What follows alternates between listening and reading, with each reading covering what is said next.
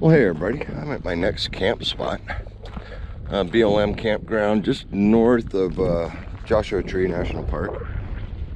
Um, as you can see, not much to this campsite. It's a big dry lake bed basically. There's a few people out here, not too many. Um, 10 minutes off the main road so not bad.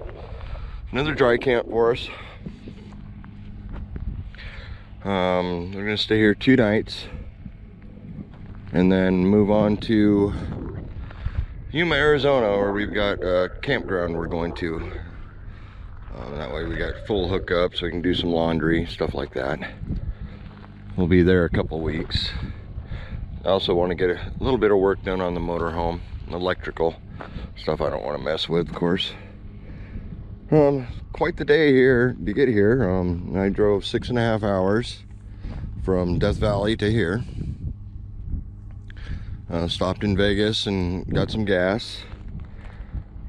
And yeah, then right back into California we went. But been fun. Definitely an interesting area. You can pretty much park anywhere you want out here. As you can see, most everybody's spread out pretty good. Not bad view.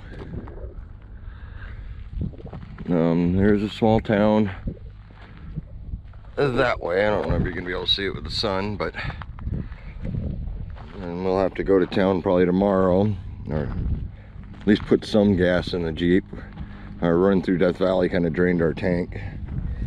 And when we stopped for diesel for the rig, of course, they didn't have regular gasoline, so we never filled the Jeep up. So we'll fill it, probably put in half a tank. Heck, I might even fill it, who knows.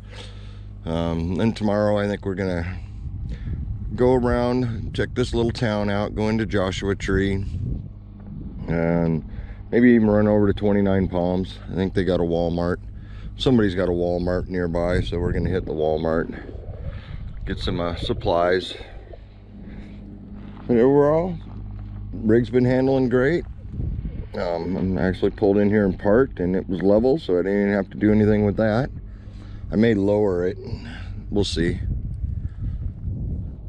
Just easy not to mess with it. But um, from reading about this area, there's a lot of off-roading opportunities. Um, I can see from here a lot of trails going up and over almost all these hills. So that'll be interesting. I don't know if we'll do any of that you know. I don't really want to take the bike off the back for just a day or day of running around. That I'd actually have to unload the Jeep which has got my bike in it a bunch of bins. I do have enough room in here that I can kick stuff around still get the dogs in. You can see my bike's over in the corner there.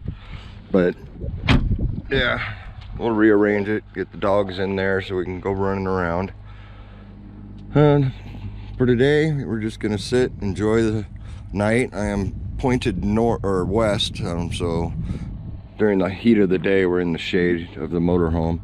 I uh, can't exactly put the awning out out here. In the wind and tear that up. But i figured i'd show you my campsite. Not much to it that's for sure. It's a desert camp. Um, this first time we've actually camped where there's hardly any plants at all a dog come out of the motorhome. Yeah, he went and found a rock and that's what he peed on, which was kind of funny. He ran around the rig and it's like, oh, there's no trees, no bushes, no nothing. He figured it out. But hey, thanks for watching.